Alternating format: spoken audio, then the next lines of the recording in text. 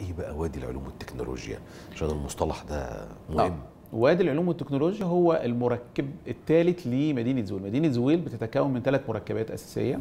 المركب الأساسي الأول هو الجامعة، جامعة العلوم والتكنولوجيا.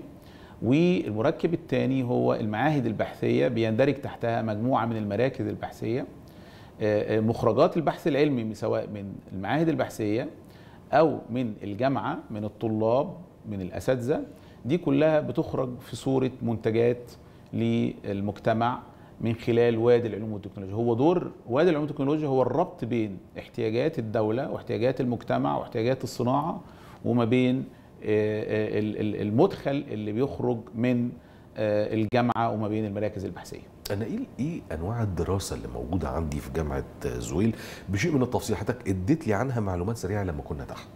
نعم إحنا عندنا لو قدرنا نقسم ال- البرامج الأكاديمية اللي موجودة عندنا عندنا برامج للعلوم برامج للهندسة وبرامج لعلوم الحوسبة والذكاء الاصطناعي.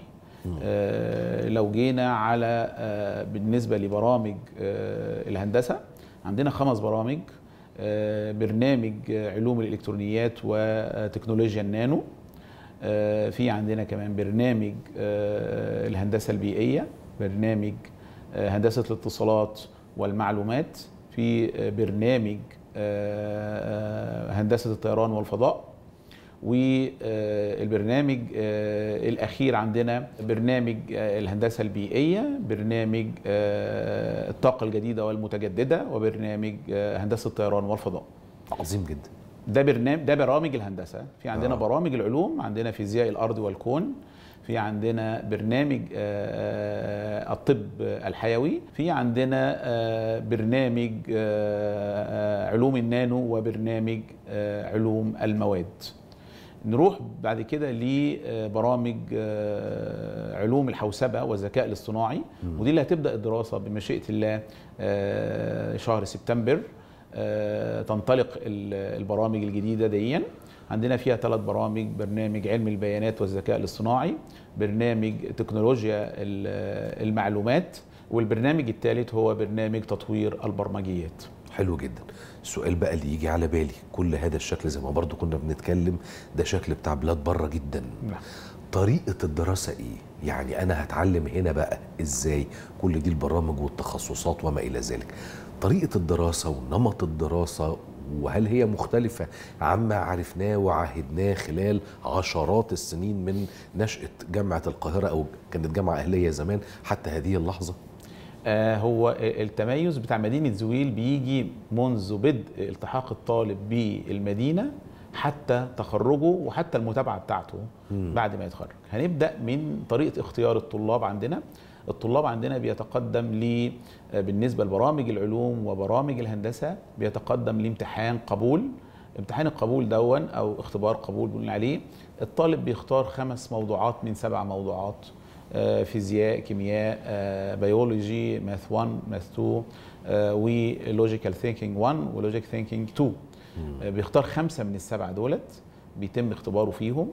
وإذا تم اجتيازهم بيبدأ يعمل انترفيو مقابلة شخصية واختبار كمان أو تحديد مستوى اللغة الإنجليزية. دول مع بعض بنبدأ نختار منهم أفضل طلاب متقدمين للمدينة ومع مجموع الثانوية العامة بناخده برضه في الاعتبار ولكن آه، اختبار آه، القدرات بتاعنا بيبقى عليه وزن معياري أكبر. وبيتم قبول الطلاب بناء على ذلك. بالنسبة لكلية علوم الحوسبة آه، بيتم آه، عمل مقابلة شخصية وبيتم عمل آه، تحديد مستوى للغة الإنجليزية للطلاب وبيتم قبول الطلاب.